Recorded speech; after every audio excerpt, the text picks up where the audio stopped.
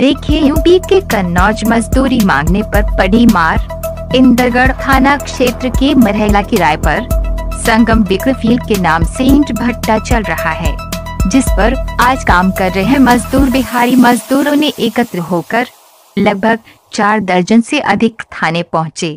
उन्होंने बताया कि हमने भट्टा मालिक से पैसे मांगे राशन लेने के लिए तो उन्होंने मारपीट कर दी, जिसमें आम लोगों को चोटें आई वही मौके पर पहुँची पुलिस ने।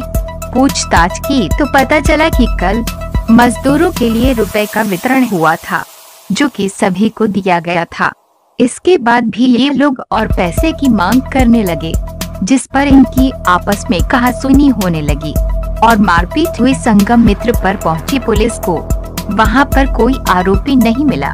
वही मजदूर बेचारे अपना घर परिवार छोड़कर मजदूरी करने आए, लेकिन यहाँ पड़े खाने के लाले। इंदरगढ़ से दर्शन राजपूत की रिपोर्ट।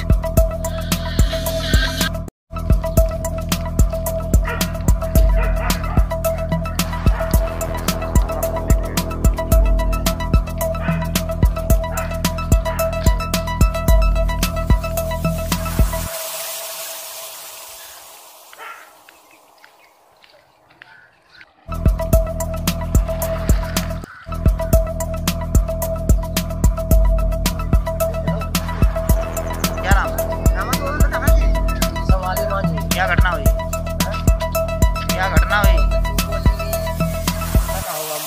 आपको घटना का बता देंगे कहाँ पे?